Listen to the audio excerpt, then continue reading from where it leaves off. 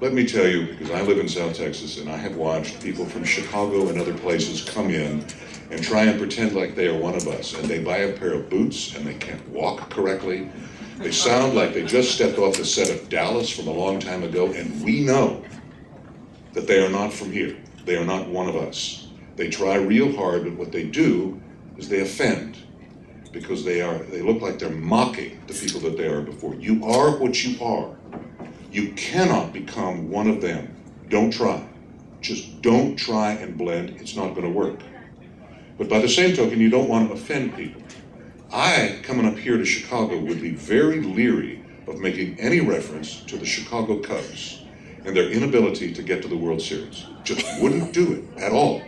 Even though I could say, I'm from Houston, Texas, and I'm here to tell you, going to the World Series is not that big a deal. It's over before you know it, and you never win. I wouldn't do it.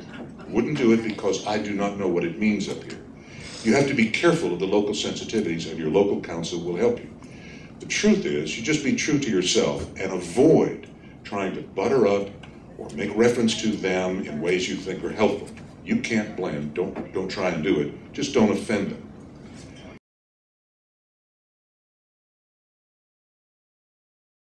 Every one of us knows that there is someone in the courtroom who tells the judge what to do.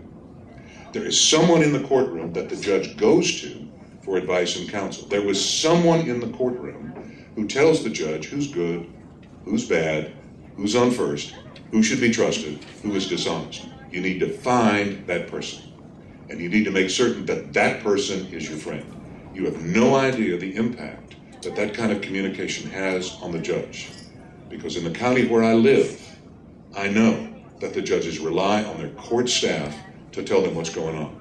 I'm sure it happens every place, everywhere. And when you're in front of a judge in one of these counties, he is not a judge, he is the king, or she is the queen. You cannot influence these people because they don't answer to you for their position. You don't vote, you don't contribute to their campaigns, you don't persuade the senator who appoints them, you don't have any control over the judge. And so I always make a point of going to the judge and saying, Where do you want me to stand? Where do you want me to sit? When do you want me to rise? Even though my local counsel has told me all that I need to know about interrogation of witnesses in that county. I ask the judge because I want him to know I will do whatever he tells me about his courtroom. I will run my case as he wants his courtroom to run.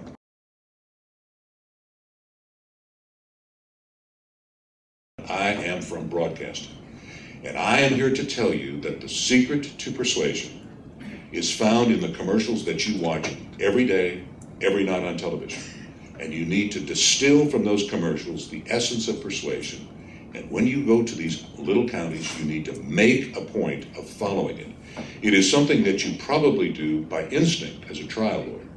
But when you go someplace where you are outside your comfort zone, you need to do this on purpose. And the rules are very simple. You must be able to distill your case into a simple declarative sentence. You must be able to identify something where the jurors can perceive that their self interest is at stake and will be satisfied if they find for you.